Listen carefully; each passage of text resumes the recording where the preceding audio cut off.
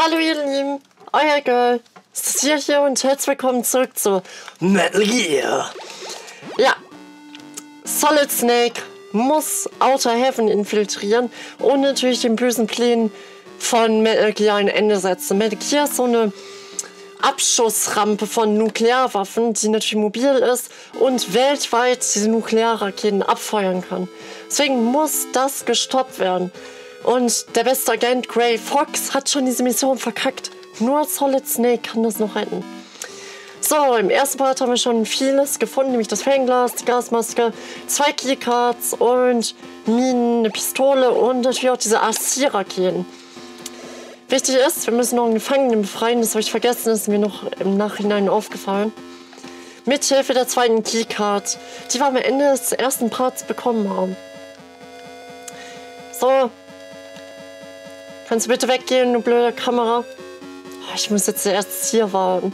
I'm so sorry. But this is how it works. Kann zum Glück nicht durch Wände schauen. So, hier wollen wir rein. Mhm. Ich habe noch an dich gedacht. Und anstatt gerettet, wäre ein Danke echt sehr lieb gewesen. Aber Snake wird einfach nur mit Dreck beschmissen, kommt mir so vor. So, ihr Lieben, jetzt geht's ab. Jetzt geht's ab. Ich meine es ernst, wir brauchen alle Rationen. Jetzt geht's richtig ab. 3, 2, 1. Scheiße. Oh Gott, die Bossmusik spielt hier. Das war witzig. Ja, einfach vier Gegner. Wenn man nicht darauf äh, vorbereitet ist, wird man hier wahrscheinlich Ende finden. Ich kenne natürlich das Spiel. Nicht in- und auswendig, aber ich kenne es ganz gut. Und komm, lauf rein in dein Verderben. Hä, das hat doch getroffen. Und die Gegner können natürlich schräg schießen. Ich kann es nicht. Ich bin nicht unfähig. Snake kann es einfach nicht. So, Schalldämpfer. Und der Schalldämpfer wird automatisch ausgerüstet. Bedeutet, wir werden jetzt nicht mehr bemerkt, wenn wir schießen. Fantastisch. Darauf hat die Welt gewartet, ihr Lieben. Mithilfe der zweiten Keycard Mithilfe der ersten Keycard kommen wir auch noch hier weiter. Es ist so dumm, dass du mit der zweiten Keycard nicht alles öffnen kannst, was niedriger ist. Hier bekommen wir den Granatenwerfer. Wunderschön. Feuert Granaten ab. Tja, wer hätte es gedacht? Wir haben leider noch keine Munition dafür. Ich heile mich mal. Und natürlich hat der Granatwerfer auch keinen Schalldämpfer, es sollte klar sein, oder? Ich denke, das sollte klar sein. oh Gott. Die habe ich beim ersten Mal spielen tatsächlich gar nicht gefunden, weil ich dachte, dafür brauche ich Keycard 3 oder so. Da war ich ja nur ein bisschen dumm und grünschnebelig unterwegs. Ist einfach so. So, jetzt komm runter hier. Komm runter. Komm doch mal runter und chill. Zack, zack, zack. Und stirb. Gut, dass er sich erst später umgedreht hat. Oh mein Gott, sie sind schon die stärkeren Wächter. Wobei die eigentlich doof sind, ne? Die sind noch dümmer als die Genomsoldaten Metal Gear Solid. Ha? Fußspuren? Was war das für ein Geräusch? Ihr wisst das.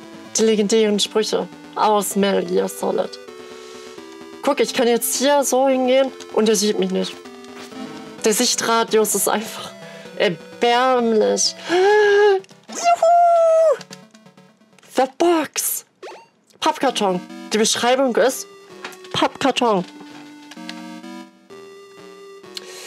Das war Metal Gear für heute. Wir sehen uns beim nächsten Mal wieder. Ich werde hier im Pappkarton verweilen. Das ist so geil. Der ikonische Pappkarton, den gab es schon in Metal Gear 1. So, wir können jetzt schießen und die hören uns nicht. Schalldämpfer sei Dank. Ich wäre echt froh, dass man ihn so früh im Spiel schon findet. So, hier brauche ich jetzt tatsächlich das Fernglas, weil ich nicht weiß, was mich da unten erwartet. Guckt, der guckt direkt in unsere Richtung. Das heißt, ich würde direkt reinrennen. Deswegen ist das Fernglas ein sinnvolles Item, ihr Lieben. Sonst würde ich direkt in mein Verderben rennen. It is how it is. So. I love you so much. Und guckt mal, wo wir jetzt rauskommen. Da hieß es nämlich, ja, du brauchst Nikita, AC-Rakete-Dings. Ja, später heißt es Nikita. Benutzt die Richtungsstation, um den Flug der Rakete zu steuern. Spieler kann sich bewegen, während die Rakete kontrolliert wird. Ja. Kann man abfeuern. Ist halt so eine Lenkrakete. Jetzt ist das ausgeschaltet. Und wenn ich jetzt da unten wieder rausgehe, sind wir da, wo wir Keycard 2 bekommen haben. Und wenn ich dann wieder den Screen wechsle, ist der Scheiß hier wieder aktiviert. Habe ich keine Lust drauf. Deswegen gehen wir wieder nach oben. Nur damit wir das mal gesehen haben. Irgendwie ziemlich sinnlos. Findet ihr nicht auch? Komm her. Nein, dann schießt die ab. Scheiße, ich habe nicht mehr so viel Munition. Ich habe nicht mehr so viel Munition. Hallo, Gefangener. Danke, dass du mir geholfen hast. Diane vom Widerstand bietet ihre Unterstützung auf der Frequenz 12033 an. Diane sollte eine Menge Informationen über den Feind haben. Jetzt bekommen wir tatsächlich einen neuen Codec, was ich ganz witzig finde. Aber den Schneider, den haben wir von keinem bekommen. Das ist halt das Witzige. Du musst einfach wissen, wo du den anzurufen hast. Und ja, ich weiß es auch nicht auswendig. Ich habe das im Internet nachgeschaut mit dem Schneider. Aber das seht ihr wahrscheinlich auch nur bei mir. Was keiner weiß, dass man den so früh im Spiel anrufen kann. Es sagt ja einen noch niemand. Hier spricht Solid Snake. Bitte komm. Hier ist Steve. Diane? Sofern ich weiß, ist sie gerade shoppen und noch nicht zurückgekommen. Ja, macht halt noch mehr Klischee. Girls gehen nur shoppen, ist klar. Tue ich zwar auch. Ich bin halt so ein stereotypisches Girl. Aber das ist so übertrieben, ne? Diane vom Widerstand, ne? als ob die nichts zu tun hat. Die geht einfach shoppen. Oder hat die Urlaub. Ist halt so richtig Klischee. Aber ich find's lustig. So, jetzt komm her. Her. Rein in dein Verderben. Du willst auch. Er sieht uns nicht. Er sieht uns nicht. Ist das peinlich? Und ich erwische ihn.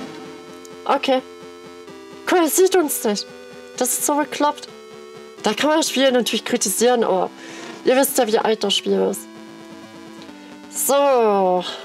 Kann ich nach unten? Ich kann auch nach unten. Oh nein! Wo muss ich jetzt hin? Das weiß ich nicht mehr. Das ist auf jeden Fall Rooftop, da kommen wir noch nicht weiter. Ja, jetzt kommt er wieder. Hier spricht Big Boss. Ich vergaß, da Ihnen etwas mitzuteilen. Das dritte Mal. Du vergisst immer alles. Ich glaube, der Typ hat Alzheimer. Auf dem Dach gibt es einen Windschutz. Suchen Sie dort noch einen Bombenschutzanzug. Ja, fürs Dach brauchen wir noch ganz viele Sachen. Fallschirm, Bombenschutzanzug. Ich glaube, Minendetektor. Ganz viele verschiedene Sachen brauchen wir da noch. Können das ein bisschen chronologisch durchgehen. Im schlimmsten Fall habe ich ja online hier die Karten zur Hand. Fangen wir erstmal hier an. Ich weiß nicht, ob wir hier schon richtig sind. Aber mit Hilfe des Pappkartons kommen wir natürlich an dieser Kamera vorbei. Das sollte klar sein. Äh, tschüss. Guck, der Pappkarton hat tatsächlich einen Sinn. Für die Kritiker, die immer hinterfragt haben, ja, wofür ist denn der Pappkarton? Kann natürlich mit dem Pappkarton nicht schlagen und so, nicht schießen. Stirb! Ich brauche echt Munition. Ich hätte Munition farben gehen sollen, bevor ich hier hochgehe. Echt. Zack, zack, zack. Es war so klar, oder? Es war so klar. Was hätte ich denn da machen sollen? Ja, er schießt durch die Wand. Durch die Wand hat er geschossen, der Sack. Ja, gut, dass ich Rationen ausgerüstet habe. Hätte ich es nicht getan, wäre ich jetzt tot. Ich sage ja, unheimlich hoher Schwierigkeitsgrad. Jetzt komm her, Mann, und stirb. So, war zum Glück nur ein kleiner Alarm. Ich habe nur noch zwei Schuss, ihr Lieben. Wie soll ich das jemals schaffen? Keycard 2, Keycard 1.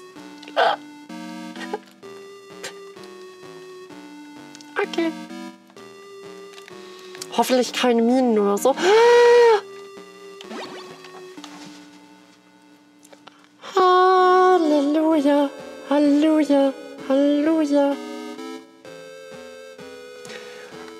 Was better than sex. Mal, da ist immer noch C4.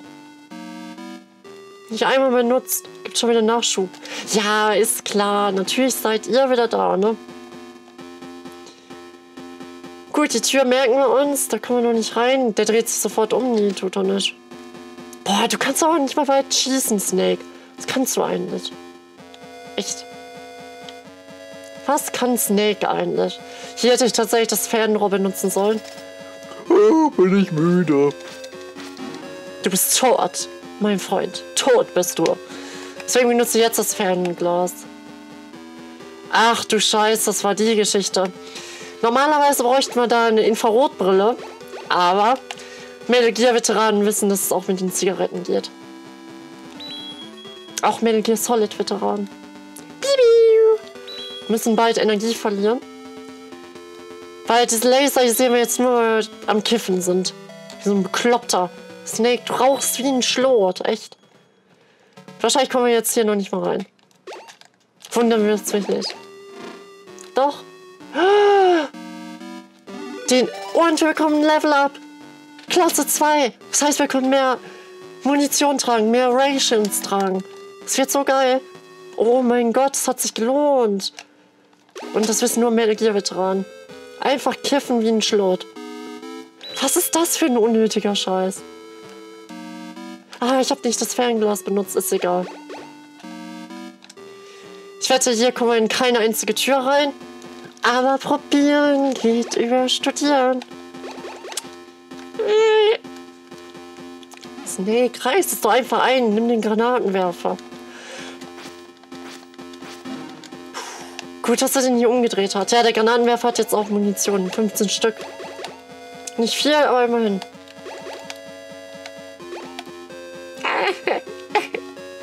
Gut, wir haben einen Gefangenen befreit.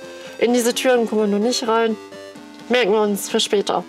Es macht halt so viel Spaß. Man muss einfach erkunden wie ein Weltmeister in dem Spiel.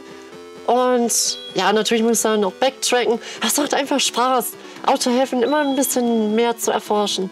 Du bekommst immer mehr Möglichkeiten. Das verleiht dem Spiel diesen gewissen Charme halt. Bitte was? Im Schlaf hat er mich angegriffen. Ich glaube, der hatte einen schlimmen Albtraum. Muss ich respektieren. Ich muss es einfach respektieren. Den sind wir ja schon durch. Mehr als den Gefangenen befreit haben wir jetzt zwar nicht, aber wir sind ein bisschen schlauer geworden. Viele nervige Wachen. Level up. Wir haben die Zigaretten ein bisschen in Aktion gesehen. Leute, raucht nicht. Rauchen ist gefährlich. Ich habe noch nie eine Zigarette probiert, ihr Lieben. Noch nie. Mein ganzes Leben nicht. Zwar eine E-Zigarette, aber das war's dann auch. Das kommt mir so bekannt vor irgendwie.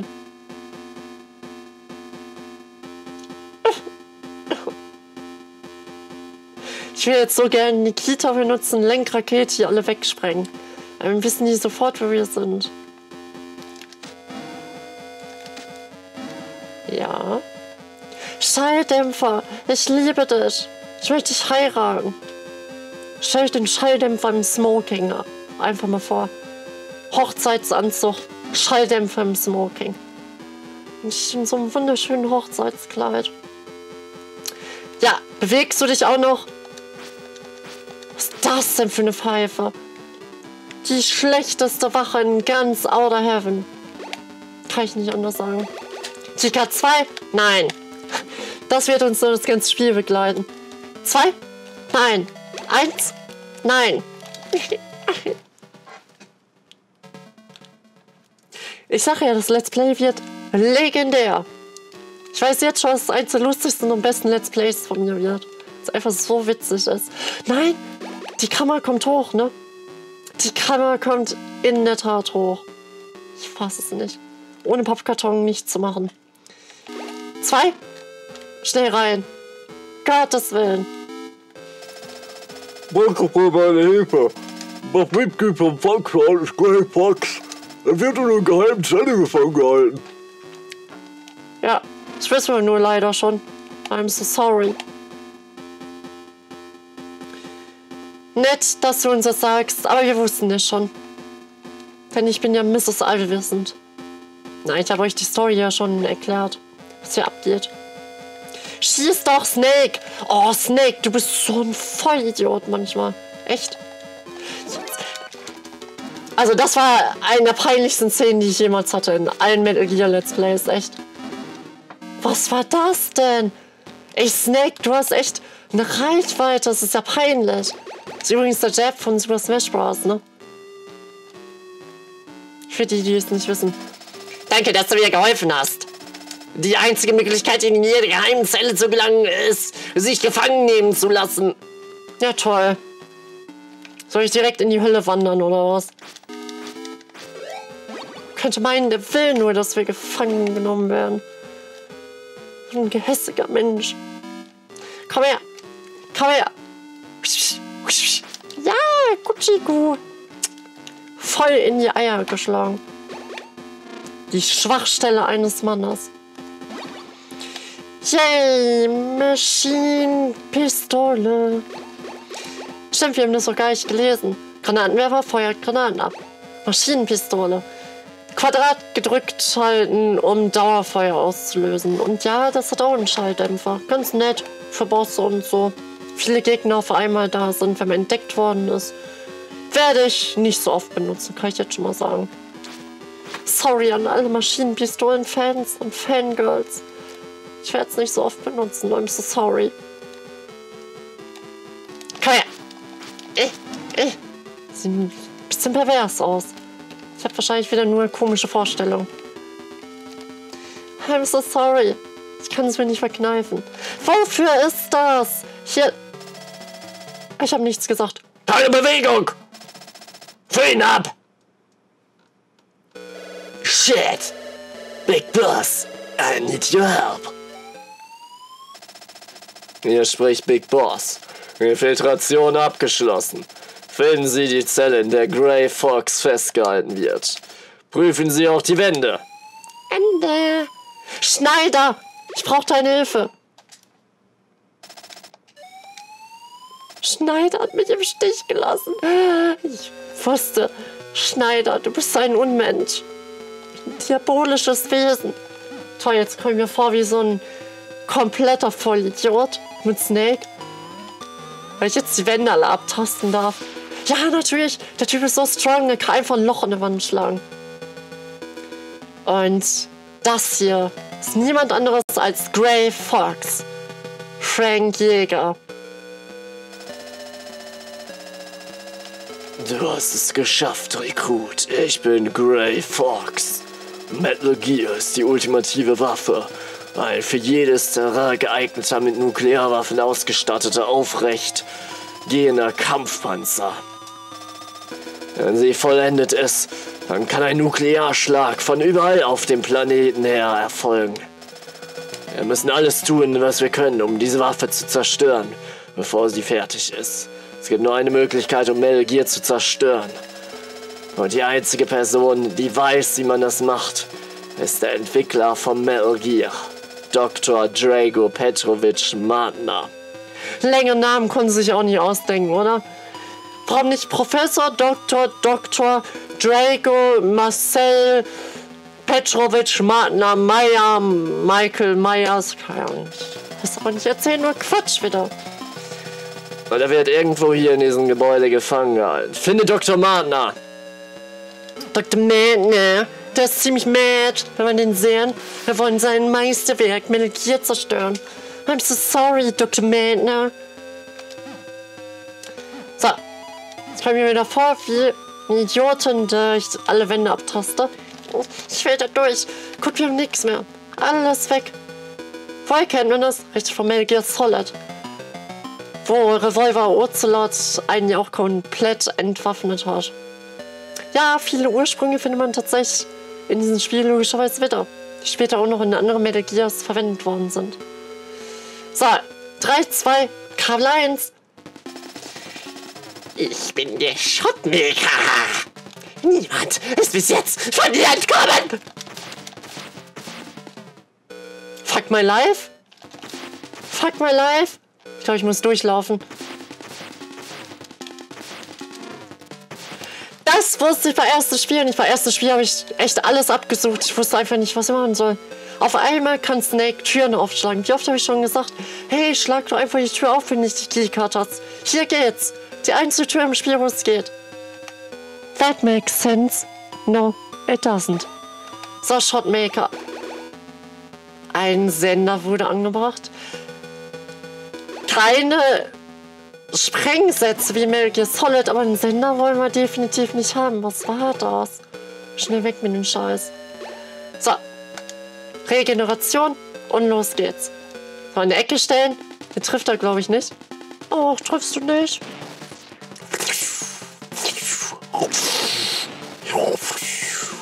Ist schon fast wie ein Cheat, aber das hat man ja in Metal Gear Solid mit Sniper Wolf genauso gemacht. Das ist ja der Witz.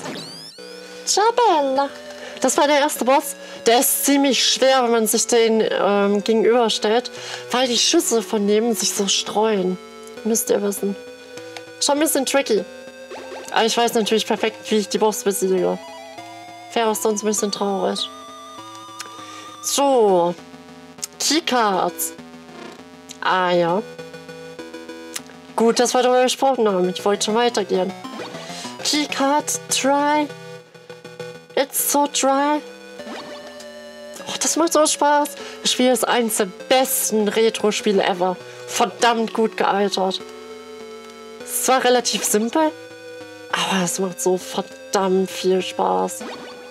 Jeder Metal Gear Solid liebt, sollte das Spiel unbedingt spielen. Das Blöde ist, wir haben jetzt keine Raketen mehr. Ich werde wahrscheinlich backtracken, um die nochmal zu holen. Weil die erleichtern nicht nur die Bosskämpfe, die sind natürlich auch ziemlich geil. Weil du einfach lenken kannst. Mit Minen hätte ich den... Weiß nicht, ob ich den Minen hätte besiegen können. Mit Granatenwerfer geht's auch. Das wäre meine zweite Wahl gewesen. Keycard 3 geht nicht. Keycard 1. Keycard 2. This sucks. I need a better keycard. Wahrscheinlich brauchen wir hier die dritte. Aber was weiß ich schon. Ja. Gut, wenn man hier sowieso nicht weiterkommt. Oh nee, das ist so eine Assi-Stelle. Weil hier super viele einreißbare Wände sind. Ja. Oh Gott, hier müssen wir wirklich jede Wand untersuchen. I'm so sorry. Aber genau das werden wir jetzt tun.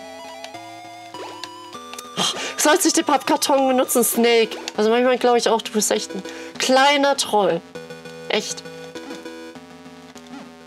Oh nie. Da.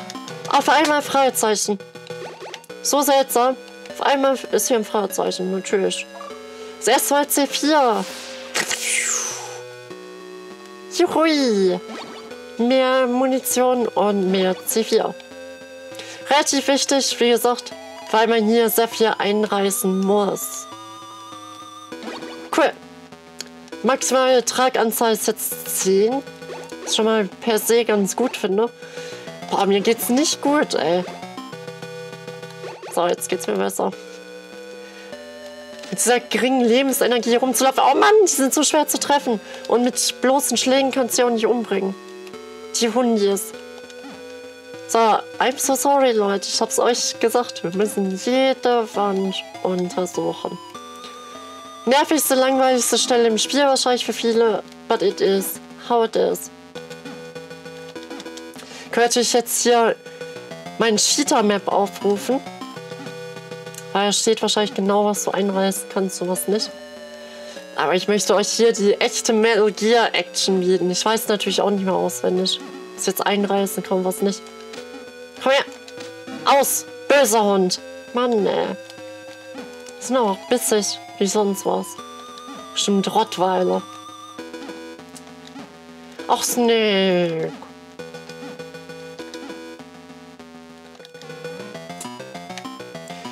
I need my C4 again.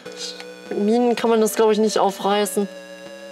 Minenling selbst reinlaufen, ich glaube, es geht nicht. Und hier ganz wichtig für die Mitte des Spiels. Die feindliche Uniform. Lass mal einfach so stehen. Wir können die ja mal anziehen, weil es stylisch ist. Aber ja, wir wissen aktuell noch nicht, wofür die ist. Ist einfach so. Und ich weiß aktuell noch nicht, wo ich hier reinkomme. Kommt auch rein ins, ins Innere dieses Labyrinthes.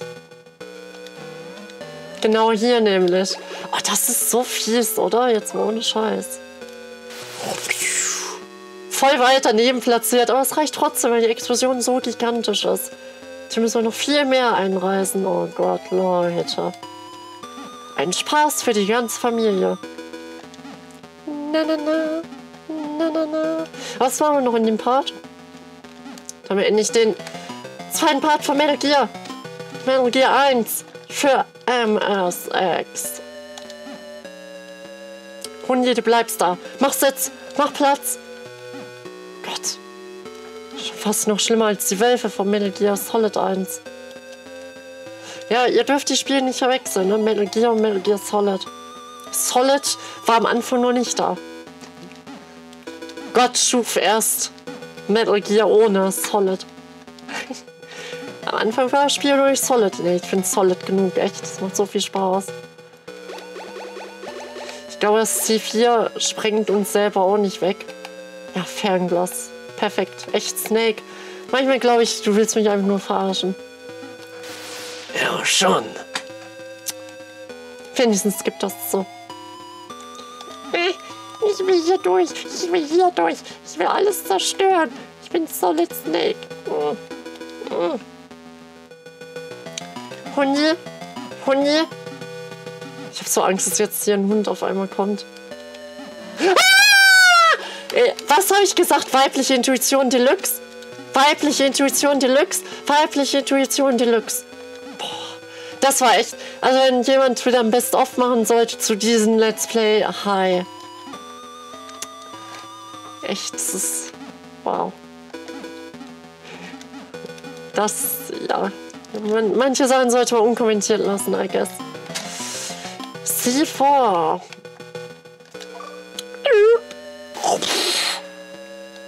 Ist einfach nur weit genug sich entfernen und explodiert das. Ist hier noch irgendwas Cooles? Shortcut oder so? Nein, natürlich nicht. Ey, wo kommen die auf einmal weg? Wo kommen die auf einmal weg? Hol gleich die Granatenwerfer raus, Hundi. Ich spreng deine ganze Hundemannschaft weg. Hier ist zum Beispiel der Schutzanzug. Nicht die Badja-Armor, die gibt es auch in dem Spiel, aber der Schutzanzug. Den wir fürs Dach brauchen. Wir haben immer noch nicht den Fallschirm. Gut, ich habe alles erkundigt. Jetzt muss ich den ganzen Weg backtracken. Ich kann kotzen. Mit den Hundis und allen Scheiß. Mit den Hundis und allen Scheiß. Stirb!